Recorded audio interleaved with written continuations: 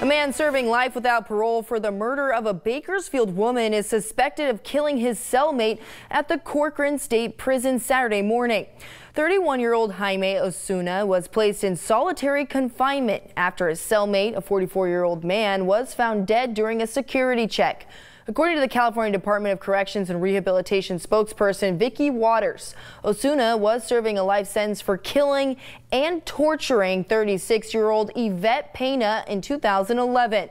Pena's body was found in a motel room with knives and a pair of scissors in her back. He pleaded guilty to Pena's murder to avoid the death penalty in May of 2017. At this time, the dead inmate has not yet been identified, but he was also serving a sentence to life with parole after being convicted in Los Angeles County on second degree murder charges with the use of a firearm.